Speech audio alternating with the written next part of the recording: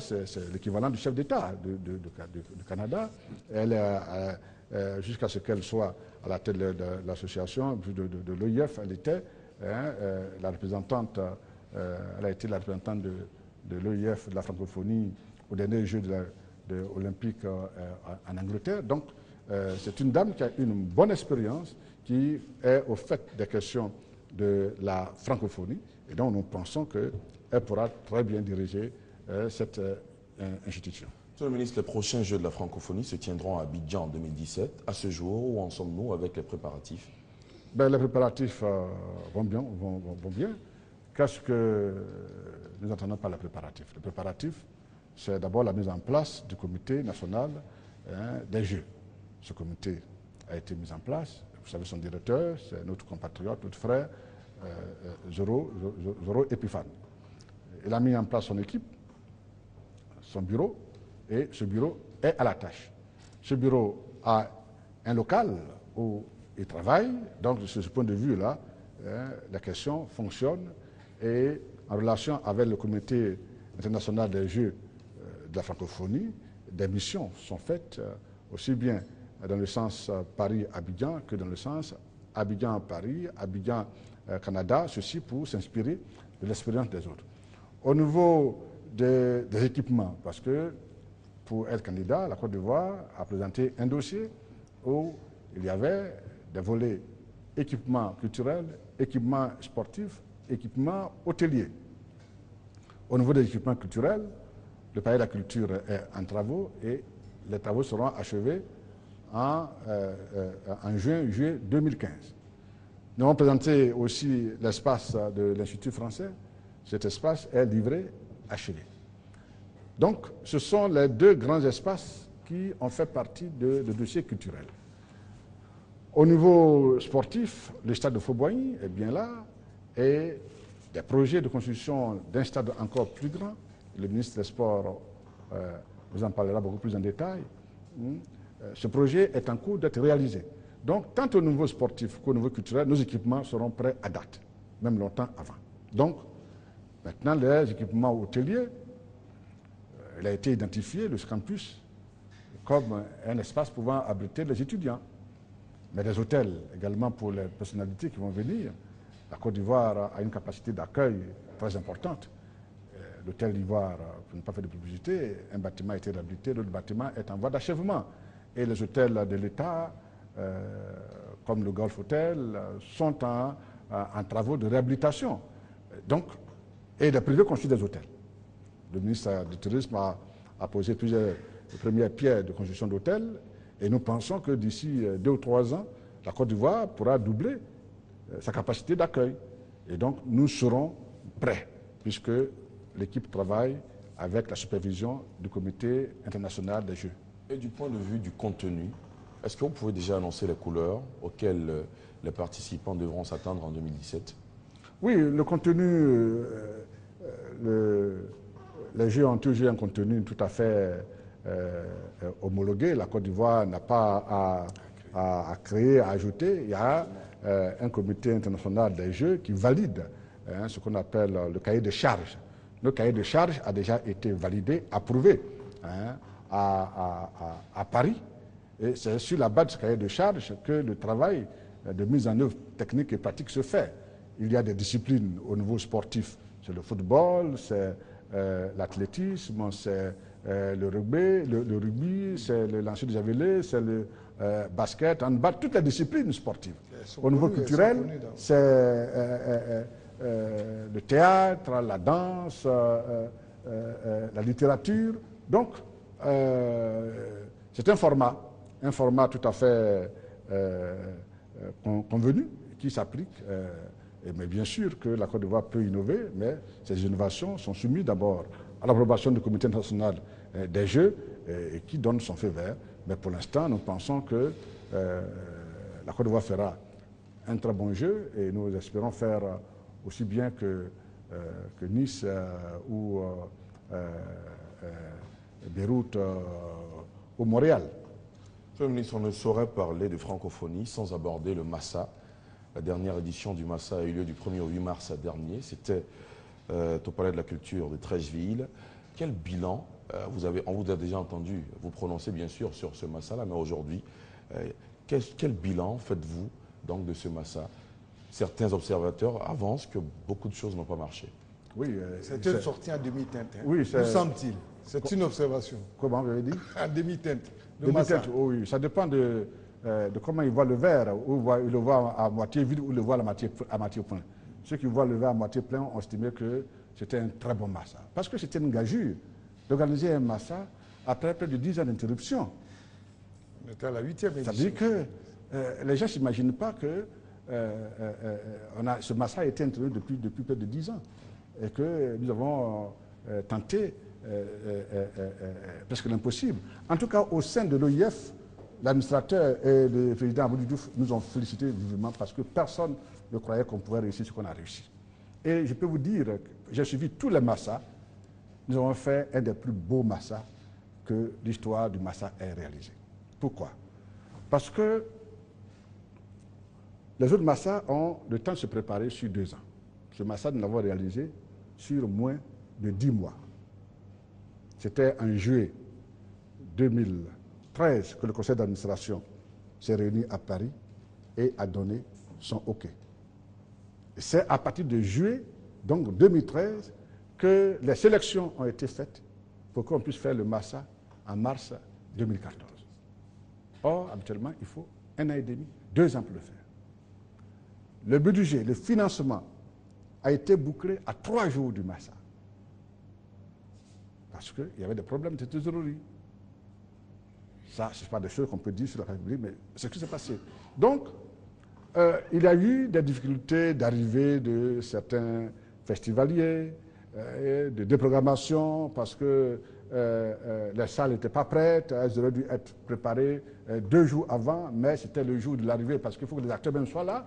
Ils arrivent le matin, ils sont programmés pour jouer à, à 11h, or, ils ne sont pas prêts. Donc, ce sont des questions techniques qui sont posées, mais ce Massa a été un festival populaire parce que nous avons souhaité avoir un Massa qui, contrairement aux autres, qui mettait en face du public des grands spectacles, quel public? Un public composé de spécialistes, ce qu'on appelle les acheteurs, les promoteurs.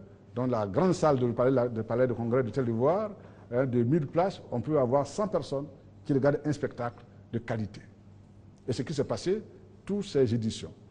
Nous avons souhaité faire un massa populaire, un massa festival où les acheteurs ne seront pas seuls à regarder le spectacle, mais ils seront dans une foule. Et là-dessus, nous avons réussi ce pari. Puisque depuis le stade de nous avons pu avoir près de 15 000 spectateurs. Jusqu'à la clôture du Massa, où on a pu avoir encore environ 10 000 ou 15 000. Entre les deux, ce sont des foules qui se sont accumulées chaque jour, chaque soir, au palais de la culture.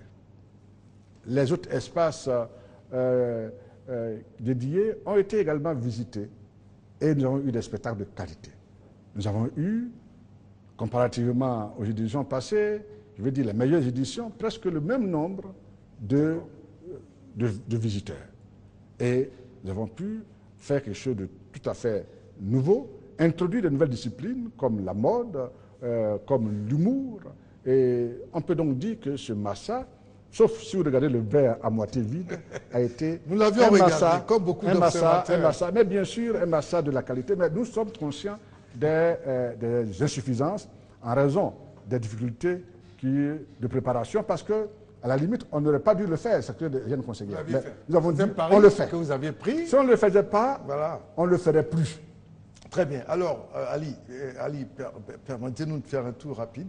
Bien sûr. Euh, pour écouter Laetitia Manglé, Monsieur le ministre, pour encore reprendre des préoccupations. Le temps va vite, hein, Monsieur le ministre. Vous avez des choses à ah, dire. Laetitia Manglé, s'il vous plaît. On va encore rien dire. Hein. Alors, Monsieur Traoré, nous avons enfin Monsieur Silué qui nous appelle du Danemark. Il est initiateur du festival Ciné-École de Boaké. Alors, il nous dit qu'en 2013, le ministre Bandamar a effectué une visite à Boaké et au cours de cette visite, il a promis accompagner ce festival. Alors, il tient à signaler qu'il est toujours dans l'attente de la concrétisation de la promesse.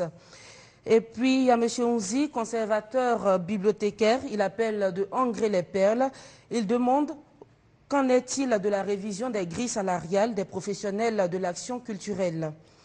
Et enfin, M. Koulibaly Sinali, qui aimerait savoir quelle est la politique qui est mise en place par le ministère de la Culture contre le piratage des œuvres de l'esprit. Monsieur le ministre, euh, oui, allez-y, il doit certainement avoir pris le train à marche. Euh, merci donc à Koulibaly Sinali. euh, cette préoccupation a été soulevée, les réponses ont, ont été données. Merci d'ailleurs de suivre euh, RTI 1 Ressort. Monsieur le ministre, il vous reste des questions essentielles. Vous pourrez euh, répondre très rapidement. Oui, je nous- suis heureux que M. Sylvie nous suive depuis la Suède. Hein, Du et- Danemark. Euh, euh, euh, depuis le Danemark. De- Ah, depuis le Danemark. Depuis le Danemark. euh, je voulais le saluer. Effectivement, euh, ce, ce jeune Ivoirien a initié avec d'autres personnes, avec notre direction régionale à Boaké, euh, un festival euh, original avec les élèves. Et nous avons pris l'engagement de soutenir euh, euh, ce festival et ce, euh, le, le NACSI, le Fonds national du cinéma, et, et travaille à cela. Mais vous voyez, il n'est pas là. Nous voulons travailler avec des gens qui sont sur place parce qu'il faut bien qu'ils soient sur là afin que nous puissions travailler de façon tout à fait efficace. Nous l'attendons. En tout cas, nous l'attendons. Mais euh, le projet euh, a été très bien récupéré puisque cette année, le ministère de l'Éducation nationale, à travers le festival, euh, euh, ce festival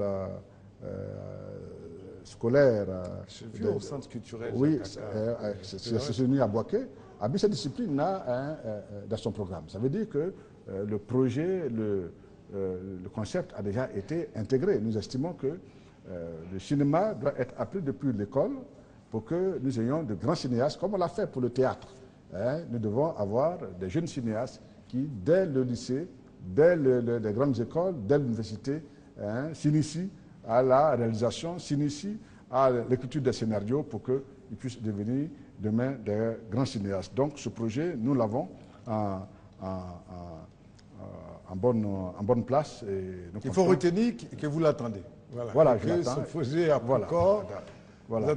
Vous là-dessus. euh, Monsieur Inzi, je pense que j'ai déjà répondu à cette question. Je crois qu'il veut parler de la de, de- de l'indemnité. De, sinon, la grille salariale, ce n'est pas le ministère qui crée la grille salariale, c'est le fonctionnaire public. Oui. Les agents la- du ministère de la Culture sont des fonctionnaires et euh, les fonctionnaires sont classés en catégorie, en, en A, en B, en C, et selon votre catégorie, vous avez votre grille de sa- de salaire. Euh, Je crois qu'il veut parler de, de l'indemnité de, risques, dont vous déjà déjà. répondu que ce dossier est en bonne place euh, et il a la bonne intention du, Premier ministre et la réponse pourrait venir euh, euh, d'un jour à l'autre. Monsieur le ministre, tout à l'heure, vous parliez du massa, j'y reviens. À la faveur de ce massa, vous avez prononcé quelques mots dans une langue ici pratiquée en Côte d'Ivoire, le nouchi notamment. Est-ce que vous ne craignez pas que le nouchi menace la bonne pratique du français? Ah non, évidemment, la langue, la langue française est une langue qui cohabite avec euh, les autres langues. C'est ce qu'on appelle la diversité et le plurilinguisme. Euh, le nouchi est un pidgin. Le nouchi est une création, c'est une langue urbaine. C'est une langue urbaine, c'est une création urbaine. Comme il y a des danses urbaines, il y a une langue urbaine qui est euh, le nouchi. Ailleurs, il y a le créole, alors il y a le pidgin. Donc, on ne peut pas euh, euh, considérer que c'est une menace contre la langue française. Les puristes ou une, autre, une époque pensaient qu'il fallait s'en tenir à la langue française de Molière, mais aujourd'hui, la langue française cohabite avec toutes les autres langues. Et d'ailleurs, les meilleures œuvres littéraires qui sont sorties dans cette langue ces dernières années, ce sont celles qui ont pu intégrer nos parlers populaires, nos langues, et nous vont citer l'exemple de un autre compatriote, euh, Amadou Kourouma. Euh, D'autres écrivains, euh, selon la Boutansi, ont bien pu enrichir cette langue française à travers leur parler, à travers le parler local. Et donc, euh, le nouchi n'est pas une menace. Ça fait partie de notre patrimoine immatériel et ça fait partie de notre identité.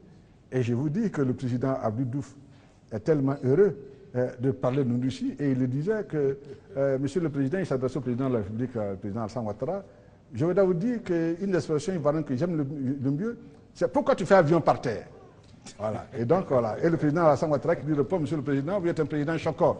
Voilà. Donc, ça veut dire que euh, nous sommes des Ivoiriens et c'est cela qui fait notre identité et nous n'avons pas à, à, à la, à, la, à la laisser perdre. L'autre aspect que nous abordons ce soir avec vous, Monsieur le ministre, c'est l'année 2014 que vous avez consacrée, année de la mémoire et de la reconnaissance. Qu'est-ce qu'il faut entendre par année de la mémoire et de la reconnaissance? Voilà. Euh, nous devons lutter contre un drame, contre une tragédie, c'est la mémoire, c'est l'oubli. Les peuples se condamnent quand euh, ils se condamnent à l'oubli. Ils se condamnent quand ils sont coupés de leur passé, de leurs grands hommes, de leurs grandes femmes, de ceux qui font l'histoire. La mémoire est donc euh, un trésor de notre patrimoine dans lequel nous puisons notre euh, identité, nous puisons notre fierté. Donc tous ceux qui ont fait la fierté de la Côte d'Ivoire artistique, nous devons de leur rendre hommage et de leur être reconnaissants. C'est pour cela que nous avons proposé au chef de l'État qu'il a accepté que certains artistes qui n'ont rien gagné sur le plan matériel, mais qui ont donné tout à la Côte d'Ivoire, à travers la musique, à travers le chant, au soir de leur vie, soient reconnus et traités de façon digne. Car nous sommes venus, nous avons vu leur détresse, les sollicitations. Le chef de l'État a accepté et nous avons pu, sur un certain nombre, dégager que le chef de l'État accepte de leur apporter une pension mensuelle, et ce qui est fait depuis plusieurs mois. Et nous avons à ajouter une liste complémentaire pour cette année 2015. C'est une des actions. L'INSAC, à travers son directeur général, a consacré une année à Enoch Des séries d'hommages à des grands acteurs. Et nous travaillons à euh, solidifier les images et les symboles qui nous rattachent à ces grands faiseurs de la culture. Par exemple, le mausolée de François Louga à Lakota, avec le maire de Lakota, nous comptons travailler pour que ce mausolée soit un espace culturel et qui donne à François Louga toute une seconde vie. Nous travaillons cela. Il en est de même pour Yigué, avec l'UNISAC et les enfants d'Enoché Yigué. Nous entendons également construire un mausolée pour Yigué et faire en sorte que Yigué continue de vivre. Mais il y a aussi leurs œuvres. Et je suis heureux du travail qui est fait par l'INSAC, où l'œuvre de Enoché Yigué a été magnifiée, a été interprétée, a été jouée par des enfants de cette école, par les élèves de cette école, et euh, euh, euh, traduit, c'est-à-dire que le Ziglibiti a été décliné en gaz, a été décliné en zouglou, a été décliné en, en, en, en zouk. C'est dire que c'est un patrimoine inépuisable qui peut encore nourrir la Côte d'Ivoire. Donc, c'est cela la mémoire. Et la mémoire, c'est également un projet que nous avons, que nous discutons avec la famille Fouboïn. Ce grand homme qui a servi la Côte d'Ivoire a laissé des œuvres. Et nous sommes à l'édition Dakar, nous avons vu que la résidence du président Sédar Senghor a été transformée en musée. Ce musée a été inauguré par le président Macky Sall le lendemain de la clôture euh, du sommet. Et nous rêvons de faire de la président Fauboin, dont on dit que je suis jamais allé là-bas, mais son, lit dans sa chambre est toujours là, ses habits, son pyjama, tout cela est là. J'ai pu voir dans d'autres pays que les rois, les présidents, leurs résidences, leurs châteaux ont été transformés en musées. Donc, c'est un de nos grands projets, faire de la résidence de Fauboin un musée, un musée important qui nous rattache à notre mémoire. Donc, la mémoire, c'est tout cela, ne pas oublier, et pour que les jeunes se sentent attachés à ce passé qui est, une source d'inspiration d'où nous pouvons puiser nos forces. Allez, nous allons faire un dernier tour, avec votre permission, Monsieur le Ministre, euh, un dernier tour. Bien, si vous voulez. Laetitia Manglé, c'est possible, elle n'a pas de questions. Nous allons donc... Euh, d'accord, alors nous allons poursuivre, Monsieur Ali, vous avez une question? Oui, euh, allez-y. La toute dernière question, Monsieur le Ministre. les critères de la reconnaissance, vous n'en avez pas parlé. pour être reconnu euh, justement au soir de, de sa carrière, pour avoir servi la Côte d'Ivoire Quels sont les critères? Est-ce qu'il y a des critères euh, formels, matériels qui Oui, existent? oui, il faut d'abord... Pourquoi euh, 15 artistes? Non, mais parce que les critères sont très rigoureux. Et vous avez dû voir que quand on a choisi euh, ces artistes, il n'y a pas eu de remise en cause. Tout le monde a reconnu qu'ils méritaient cette reconnaissance hein, de la nation. Et donc, notre équipe travaille, les critères sont clairs. Il faut que ce soit des gens qui, toute leur vie, ils les aient consacrés à l'art. Eh, eh, eh, vous prenez, prenez à la Thérèse, vous prenez à, à Félix, vous prenez Baïs Pinto, vous voyez très bien que ces hommes et femmes ont consacré leur vie. Elle est là, Marie-Rose Guiraud, qui a travaillé toute sa vie. hein. Elle a même dit, c'est à 70 ans qu'aujourd'hui, la voilà, Marie-Rose Guiraud. Alors, qu'est-ce que, quand on dit Marie-Rose Guiraud, est-ce qu'on a besoin de dire critère? Le critère, c'est la personne qui l'impose qui l'impose parce que c'est, et c'est unanime. Nous avons la liste complémentaire que les services de la présidence ont demandé, à- nous avons sollicité une liste complémentaire, la présidence a accepté, et nous avons demandé, nous demandons à nos services de nous faire des propositions. Vous attendez. Et les propositions, on se rend compte que certains noms reviennent sur cinq propositions, certains noms reviennent. Donc il y a d'abord unanimité sur la personne. Donc c'est cela que nous tenons. Ça veut dire qu'il y a une unanimité sur la personne. Donc nous demandons la proposition, plusieurs propositions, et nous les recevons, et puis le comité choisit. Mais nous disons, le minimum qu'ils doivent avoir en âge, il faut qu'ils aient au moins 60 ans. Minimum. Et on a bien vu que certains artistes n'ont pas pu bénéficier de l'environnement qui se crée aujourd'hui. Ils n'ont pas joué dans des spectacles payants, ils n'ont pas joué dans des salles à guichets fermés. Donc, ils ont joué pour l'amour de l'art. Et aujourd'hui, ils sont au choix de leur vie. Très bien. Monsieur le ministre, Et on va il pas... faut nous les soutenir. Donc, Oui. les critères, voilà, les critères euh, sont les critères de, de- de régularité et, et- et- et- donc euh, de des consécrations de sa vie. Voilà, des consécrations. Bon, nous avons noté, vous avez également euh, découvert, nous en parlons, félicitations pour avoir découvert certaines euh, personnes dans votre milieu. Je vais juste euh, vous poser une question. C'est vrai que nous sommes au terme de cette émission. J'ai pu noter que vous envisagez de, de rendre opérationnel le Fonds panafricain du cinéma. Comment? Et avec quels moyens De manière très très précise. Vous me permettez d'avoir parlé du, cinéma ivoirien. Le Fonds panafricain, c'est un fonds très compliqué. Ça veut dire que tout ce qui euh, implique plusieurs pays n'est pas facile à gérer. Euh, D'ailleurs, euh, nous avons à la tête de notre office de cinéma un ancien de la Fédération des cinéastes africains et on sait très bien que ce n'est pas facile. Ce fonds panafricain devait financer le cinéma africain.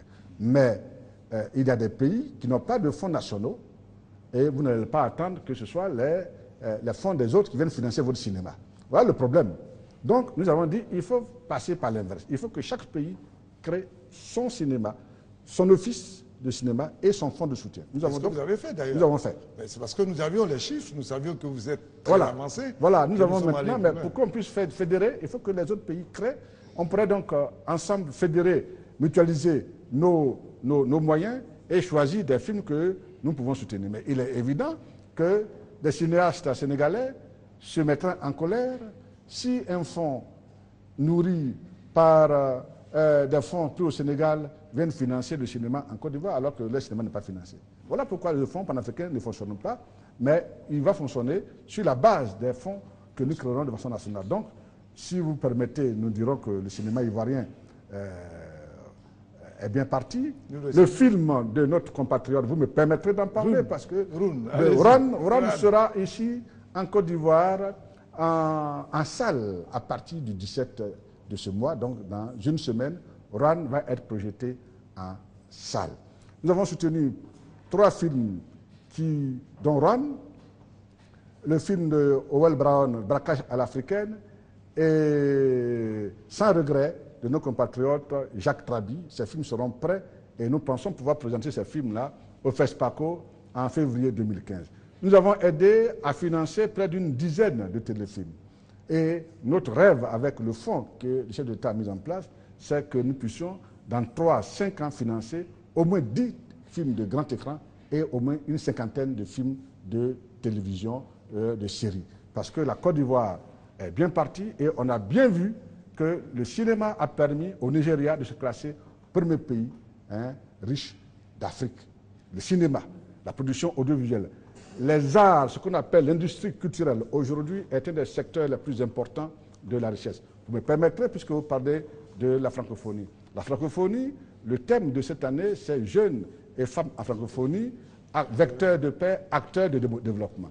Et dans le, euh, le schéma stratégique de la francophonie, il a été dit et indiqué que les secteurs porteurs de croissance et de richesse, entre autres, il y a la culture, les industries culturelles, le numérique.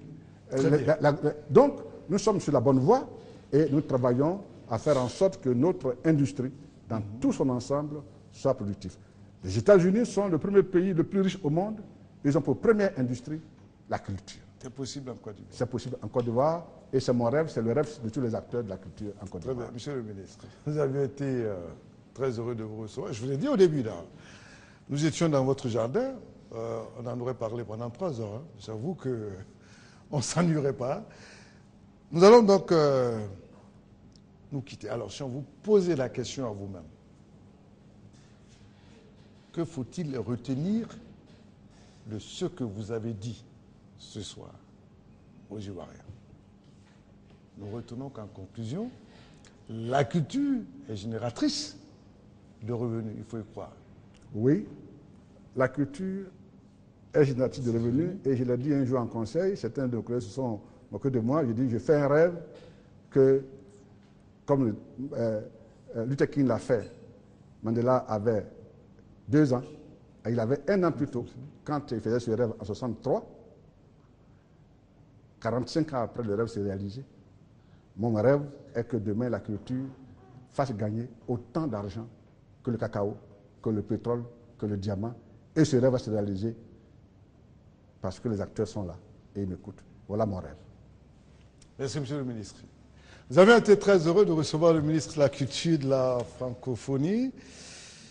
Monsieur le ministre, euh, rêver est un premier pas, pourvu que notre rêve se transforme en objectif et qu'on ait les moyens de les assumer. Merci d'avoir suivi cette émission. Je vous souhaite euh, plein succès. Merci. Merci, Pierre.